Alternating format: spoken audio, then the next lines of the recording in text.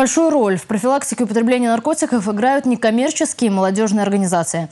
Вопросы развития гражданского общества и государственной поддержки социально ориентированных некоммерческих организаций обсудили на Совете Приволжского федерального округа во главе с полпредом Михаилом Бабичем. В работе Совета принял участие и Михаил Игнатьев.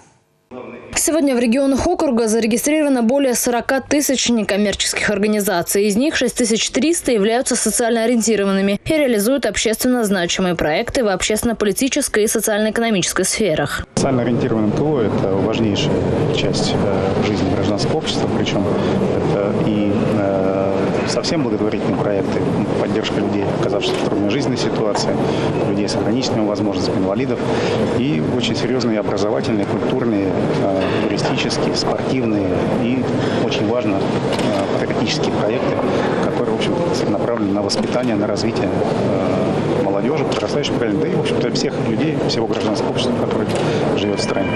Чувашии более 1100 социально ориентированных некоммерческих организаций. За пять лет на финансирование социально значимых программ и проектов в республике направлено 53 миллиона 600 тысяч рублей.